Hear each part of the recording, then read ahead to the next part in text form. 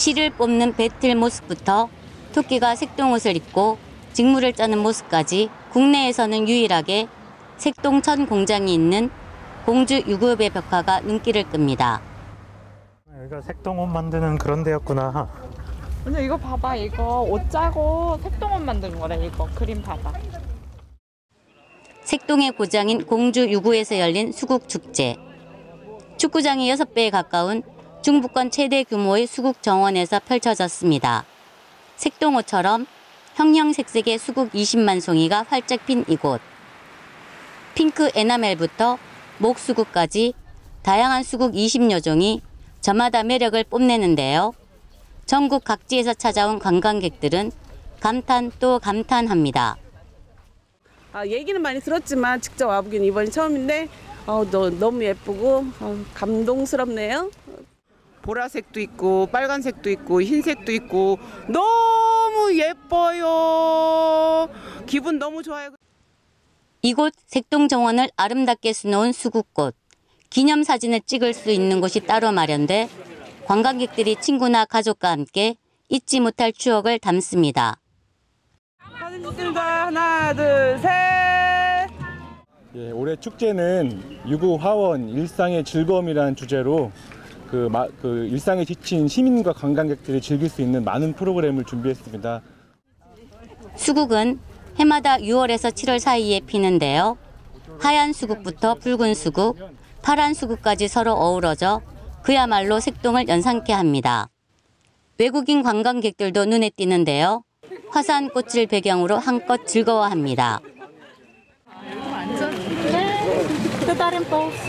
네. 어, 예뻐. 아, 예뻐.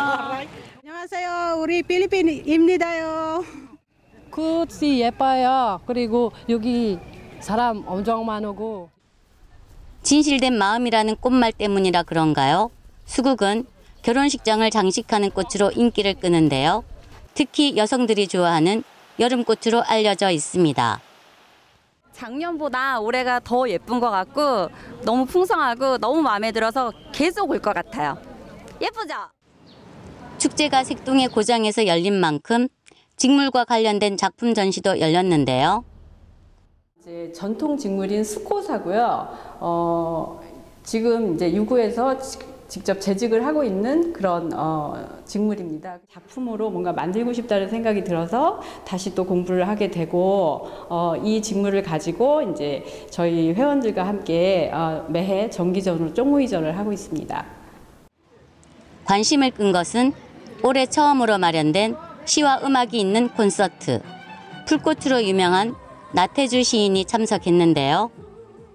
네, 위로와 축복과 어, 많은 그 복을 줄수 있는 아주 좋은 축제가 될 거라는 생각을 오늘 또 와서 했습니다. 여러분 반갑습니다.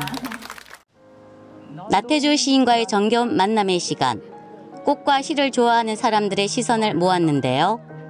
예쁜 꽃도 보고 일상에 지친 마음을 잠시 위로도 받는 시간이 됐습니다.